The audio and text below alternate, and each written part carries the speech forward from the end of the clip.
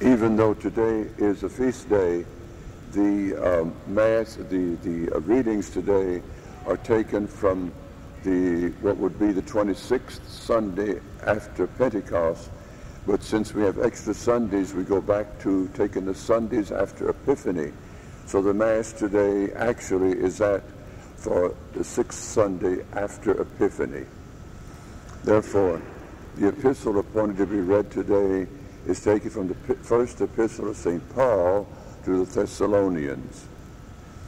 Brethren, we give thanks to God always for you all, continually making a remembrance of you in our prayers, being mindful before God and our Father of your work of faith and labor and charity, and your enduring hope in our Lord Jesus Christ.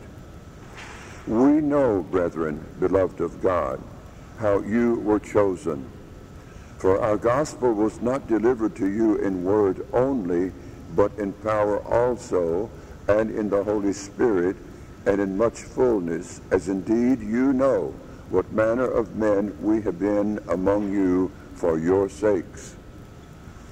And you became imitators of us and of the Lord, receiving the word in great tribulation, with joy of the Holy Spirit, so that you became a pattern to all the believers in Macedonia and Achaia. For from you the word of the Lord has been spread abroad, not only in Macedonia and Achaia, but also in every place your faith in God has gone forth so that we need say nothing further. For they themselves report concerning us how we entered among you and how you turned to God from idols to serve the living and true God and to await from heaven Jesus, his Son, whom he raised from the dead, who has delivered us from the wrath to come. And the Holy Gospel is taken from St. Matthew in the name of the Father and of the Son of the Holy Ghost. Amen. At that time, Jesus spoke this parable to the crowds. The kingdom of heaven is like a grain of mustard seed, which a man took and sowed in his field. This indeed is the smallest of all the deeds, seeds, and when it grows up, it is larger than any herb and becomes a tree, so that the birds of the air come and dwell in its branches. He told them another parable. The kingdom of heaven is like leaven, which a woman took and buried in three measures of flour until all of it was leavened. All these things Jesus spoke to the crowds in parables, and without parables he did not speak to them, that what was spoken through the prophet might be fulfilled. I will open my mouth in parables. I will utter things hidden since the foundation of the world. Thus, for this Sunday's Holy Gospel.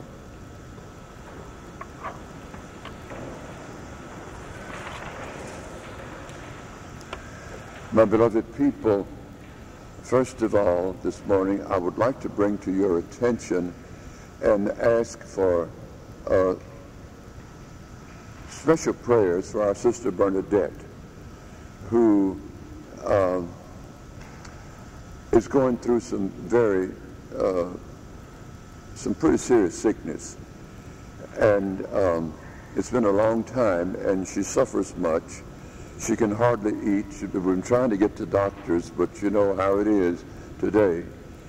Um, so um, I ask for your prayers in her behalf. This morning, there will be catechism class after the 10 o'clock Mass, and uh, parents are encouraged to send their children to the catechism classes as we have them. Normally, we would have benediction and special vespers today, as we do on any Sundays. But today is an unusual day in that it is the feast of Benedictine All Saints.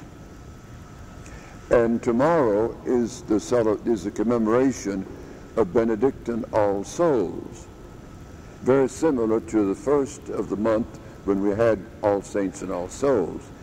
Therefore, today we will have Vespers at the normal time, 5 o'clock, but we will have two Vespers today. The first Vespers, of course, will be festive with the gold and all the flowers and all the, uh, the majesty of the occasion.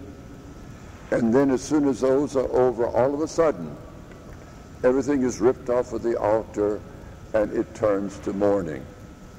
It turns to our reflection on the souls in purgatory. It's very dramatic and very beautiful, and very simple. So that's why we cannot have benediction today.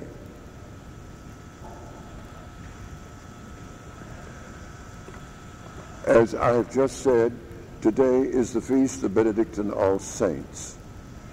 I ask your prayers that you pray to these saints. They're our saints.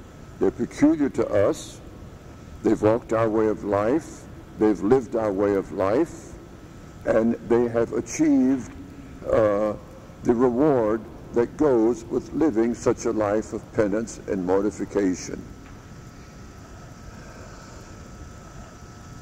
Tomorrow is All Souls Day for, for the, for, that we celebrate for those of us who have not yet paid all of our debt to Almighty God for the sins that we have committed through life.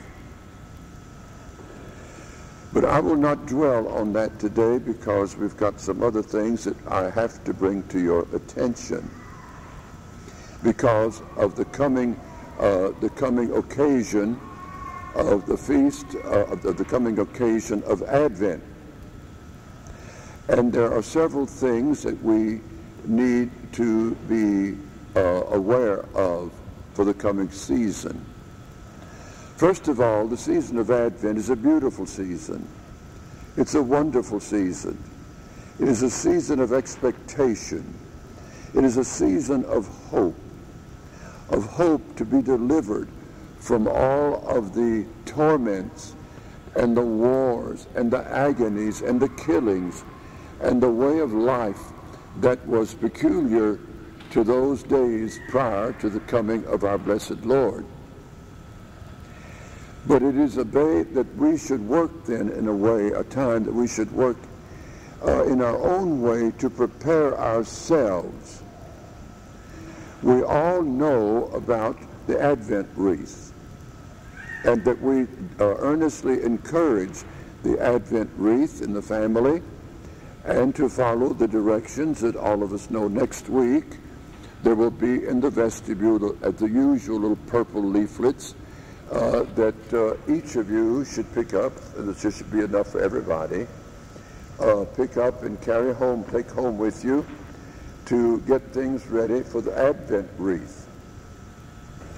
Also next week here, on the steps or wherever Father puts it, uh, you will find the usual tray with the little packets of blessed wheat. Now, newcomers might need to have this explained. What in the world was blessed wheat? Well, the first, I'll start off with directions. I suggest that for each member of the family, father and mother included, that we get, you know, these little aluminum uh, roast pans that they sell in the stores, not the largest, not medium-sized ones, and that we put some potting soil in it. And that with the little packets of blessed wheat, there should be enough grains in there that every time during the period of Advent that we have done something to curb our usual inclinations, our cuss words, our fits of anger, our fits of blasphemies, our fits of pride, our fits of whatever else plagues us in daily life. And that we take for each one of these and we will go and pick up one of those little grains of wheat. I held back my temper. One grain of wheat planted. I did not cuss. One grain of wheat planted. I was respectful to my wife or to whoever. One grain of wheat planted. Little children, I was obedient to my mother and father. One grain of wheat planted. And it goes on and on and on and on. And we plant each little grain of wheat and mothers and fathers, be careful that the little children don't overwater or drown them away. But you know how to do it. Make sure, keep an eye.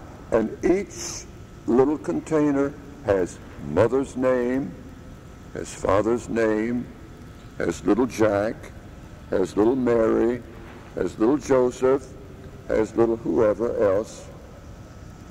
And each one of these as we see the grains of wheat begin to sprout, and they will, begin to sprout and to grow. And on Christmas Eve, when we all make our little trip to the Christmas crib, mother and father and children and everyone, each one carrying his little pot with the grains of wheat that have sprouted. My beloved people, all the frankincense and the myrrh and the gold of the world will not be as valuable and as priceless as that little tub of dirt with some grains of wheat sprouting in it. Now will it? There is no gold that will come close to the value of that little thing with dirt, ordinary dirt, simple, with a grain of wheat that is growing, showing that I was able to control this or that in me. There's nothing else you can give of greater importance. And the amount of humility it takes by father and by mother, who set the example, you don't have to say to anybody, now I was a good girl today, so I planted a little grain of wheat. Silence. The only one who must know what that grain of wheat is all about is Christ himself alone. Nobody else. That's strictly between you and God. It must be kept in the silence, in the privacy, in the secrecy of your heart. No greater gift can be brought to God than that. That's another custom. This year, we're going to bring another custom in. And I know some of you are going to jump, but that's all right. You go ahead and jump all you want to. And that is, my dear people, the custom of the blessing of the bread.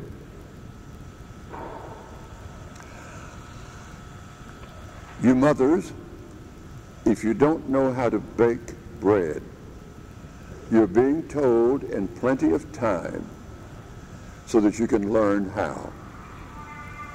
Because you're going to bake some bread. On the fourth Sunday of Advent, you will bring that bread into this church. You will wrap it festively, identify it. You can break, you can uh, bake as many loaves as you want. But only one loaf is important, but you can bake others if you wish. Festively wrap that bread and bring it to this church. And there will be again a table or whatever the Father provides, and put that bread on the table. Fourth Sunday of Advent, the last Sunday before Christmas. And the priest will come down, he will bless that bread.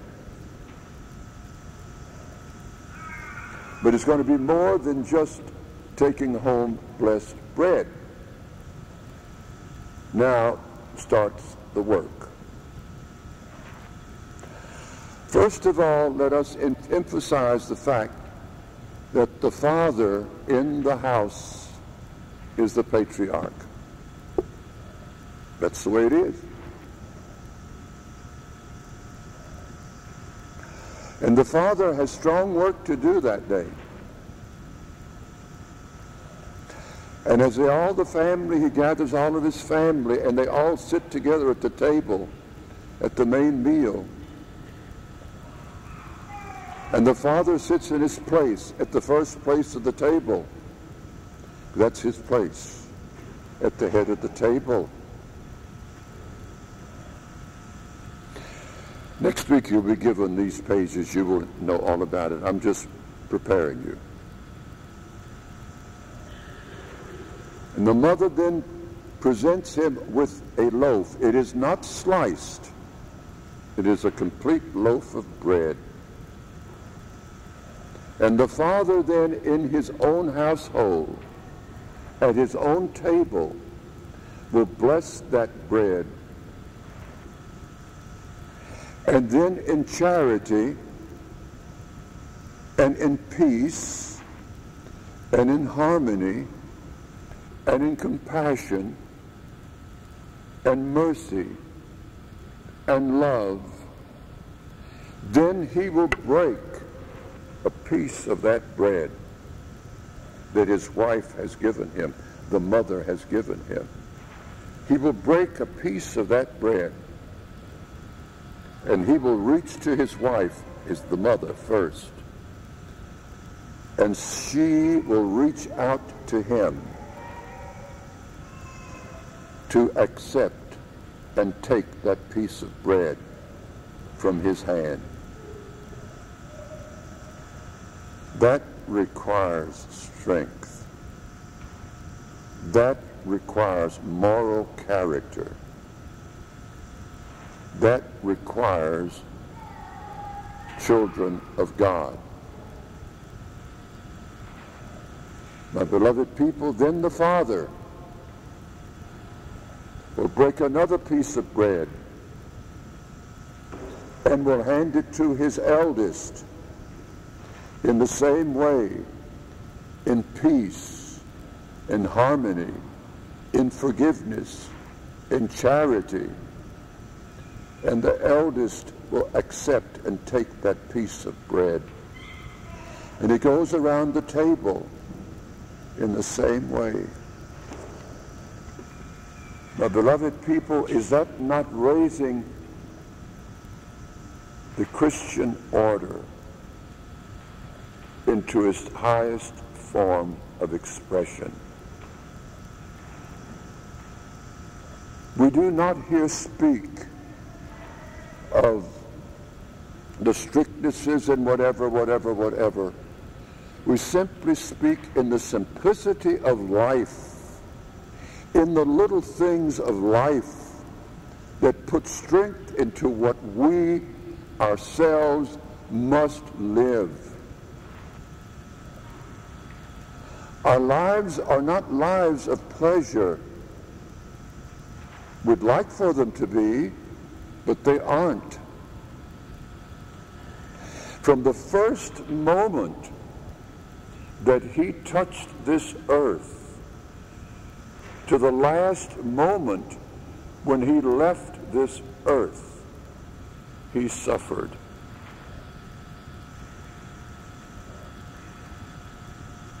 And what was his instruction? What was one of his principal instructions? Right quick did he say, take up thy cross and follow me. My beloved people, neither you nor I are exempt from this.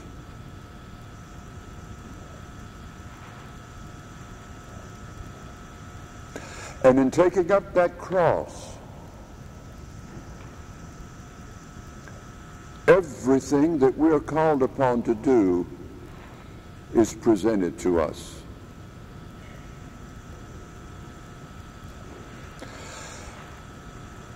And all the way through, you hear him say this You have heard it said.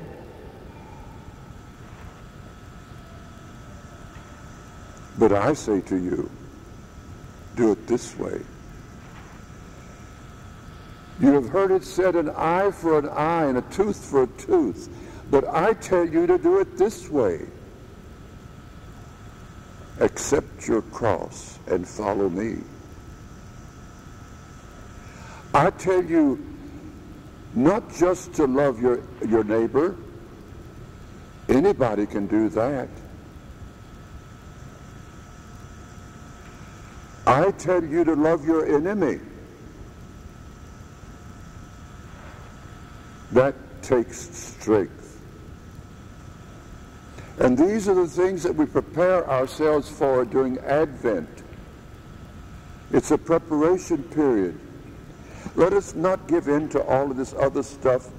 Uh, of course, Advent, we cannot expect Advent to be such, like some people uh, uh, uh, uh advise, you know, nothing concerning the coming feast.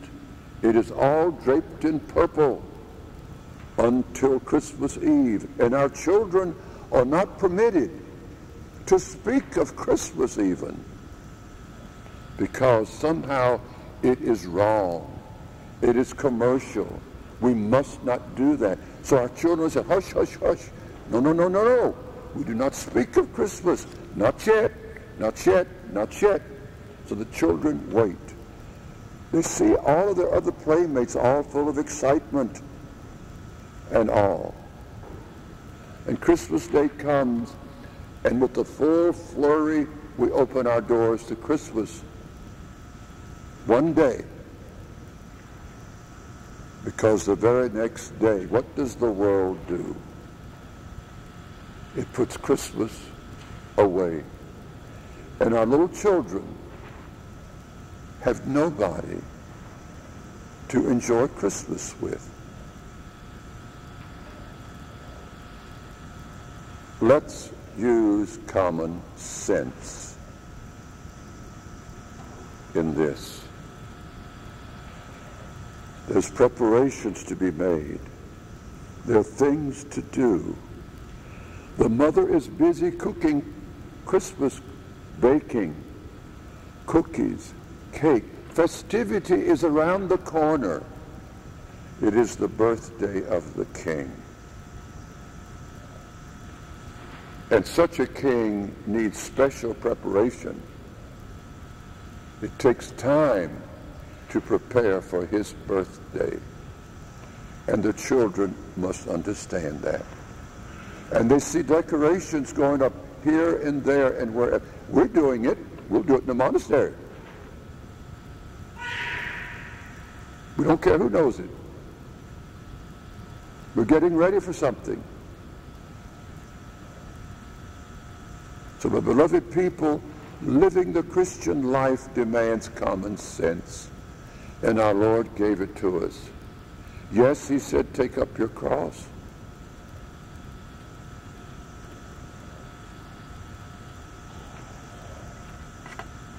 From the time that he came to the time that he left, he suffered. We do not know the last uh, the last time that we come into contact with him as a child was when he decided to stay back in Jerusalem and scared frightened his mother and father greatly. From that moment, the next time that we get the first little idea of him was not long before the marriage feast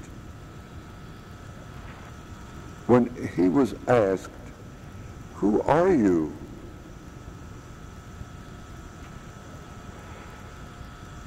And his answer very briefly was, come and see.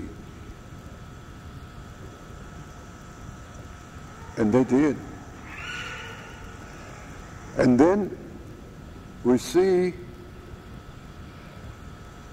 again something that is very important.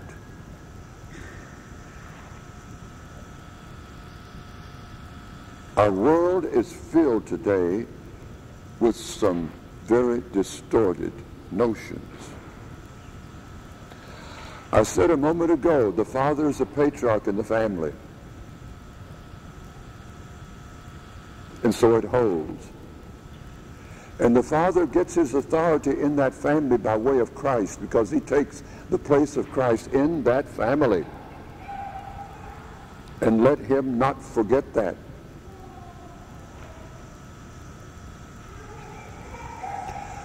At the marriage feast of Cana, it is easy to assume that the Blessed Mother had something to do with the goings on in the preparation or whatever. It's easy to assume that. And so she went to her son, who was also invited, and all of his disciples were there. They were visitors at the party. And it's easy to assume what was taking place. She went to him. And she said, very simply, they have no wine.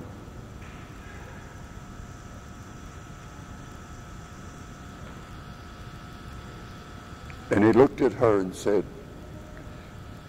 in a manner of speaking, as we would say it today, that's none of your business. He said, what is that to thee? No argument. She merely turned to the people, to the men, the caretakers, or whoever they were, and simply said, Whatever he says, you do. And she was gone. It was she, the woman, who opened the door to the beginning of the work of Jesus Christ on this earth.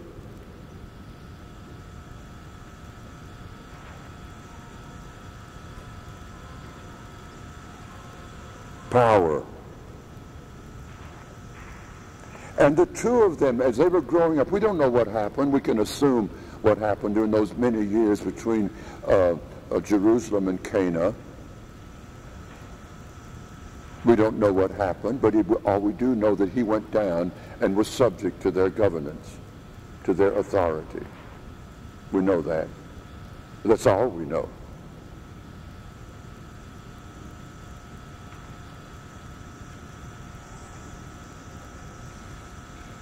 And that which existed between Joseph and Mary and their son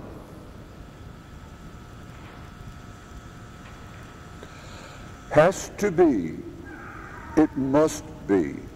There can be no other way.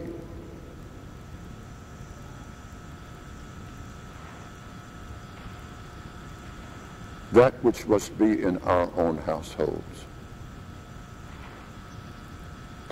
And it is because it is because the world insists on bringing things off center and to the degree that things do get off center, to that degree do you have children leaving home? Do you have divorce? Once, twice, three times, four times, five times, six times. We make other people, we need to apologize other people in history, uh, in history for what they've done. Have divorce, you have abortion, you have all the things, of killing, murders, everything that we see today because the family got off center.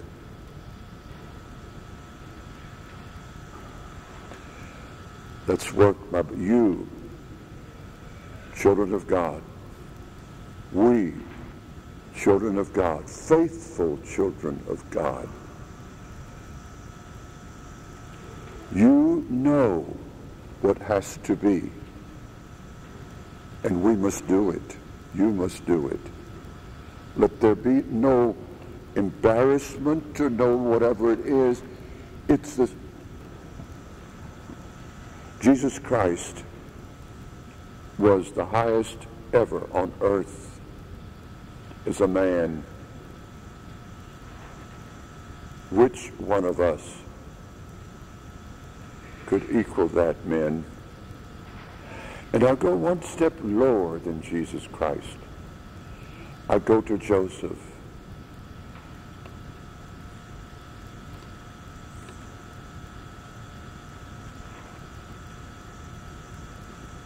Now, let's talk it over.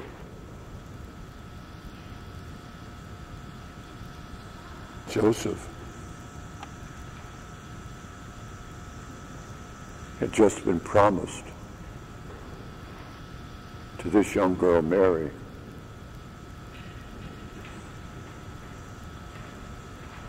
And that was that.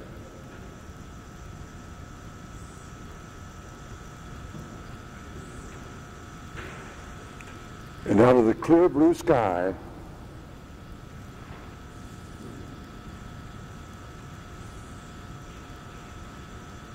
Mary went to Joseph and said, I am with child.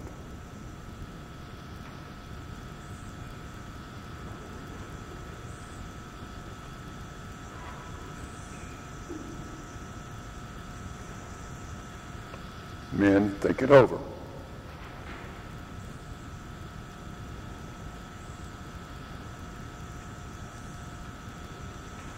And how can this be? Men, think it over.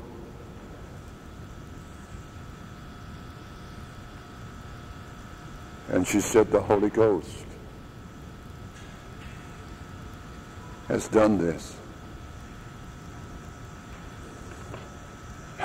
Now, can I ask you, men, whoever you may be,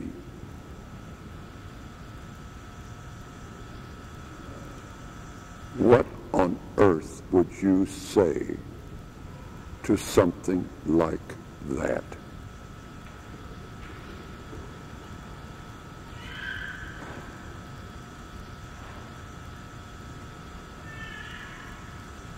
that she who was to be your wife was carrying a baby that did not belong to you.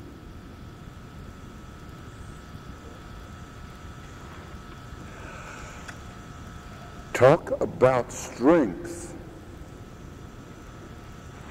Just talk about it. Think about strength what kind of strength this man Joseph must have had. He didn't say a single word.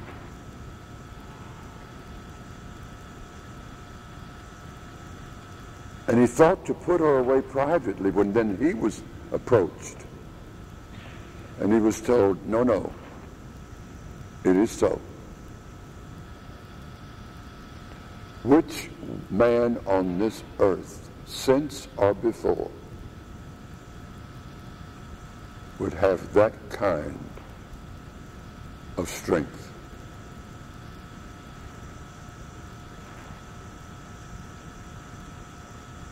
This is all that we're asked to do, the little things that require great strength, great power, great faith, great trust, great belief, great humility, great meekness, great compassion and understanding, love, charity. That's all we're talking about.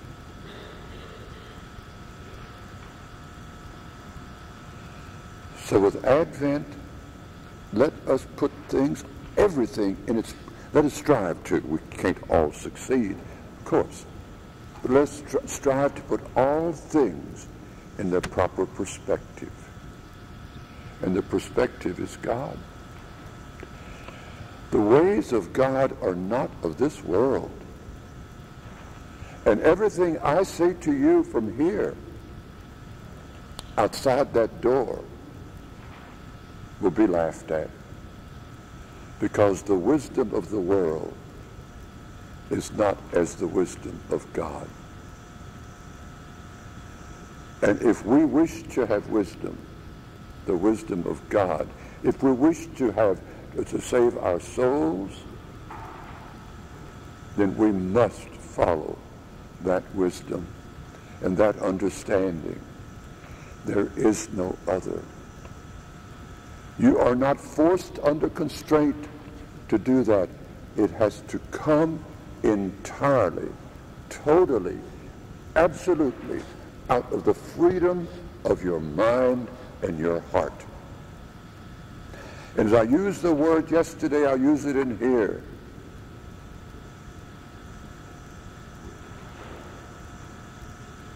Fake.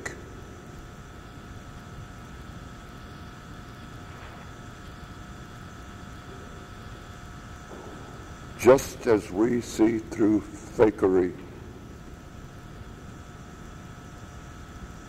God sees it more clearly and will spit us out.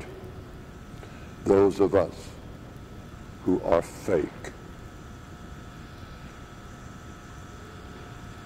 It has to be pure as the driven snow, our intention and that is why we can say with our whole hearts and our whole minds and our whole souls and our whole being.